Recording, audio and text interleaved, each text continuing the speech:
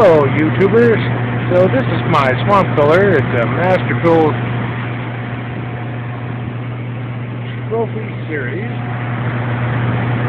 It's on high right now, and one of the advantages of having a Mastercool or any other evaporative swamp cooler is that it constantly circulates water.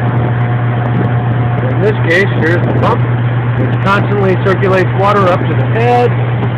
The head evaporates, gets wet, nice and cold, sucks in through the blower, down through the house, and for coolness.